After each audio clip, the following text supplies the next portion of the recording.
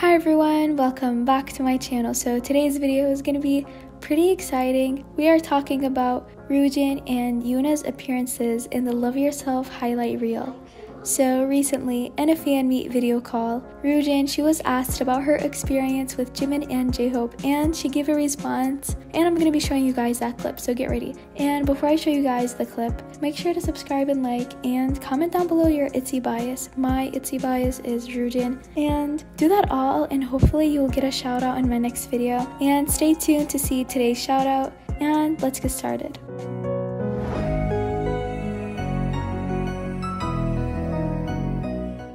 For those who already know the context, you can skip this part, but before ITZY debuted, they appeared in BTS's highlight reel. Not all the ITZY members though, it was just Ryujin and Yuna. Ryujin, she was with Jimin and J-Hope, while Yuna, she was with Jungkook. So you're probably thinking, what was the reason for them to be in it? Well, because before idols debut, they sometimes practice by being backup dancers for other idols, or they appear in like music videos. Even BTS, before they debuted, they appeared in a music video, so that's the same reason for Ryujin and Yuna.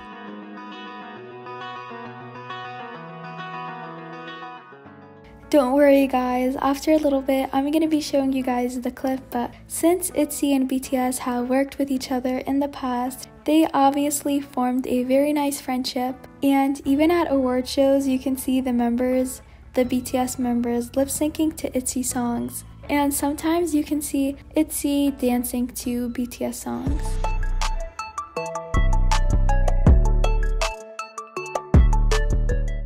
The part you all have been waiting for so recently. Ryujin, she was asked by a fan to share her experience with the members, and here was her response.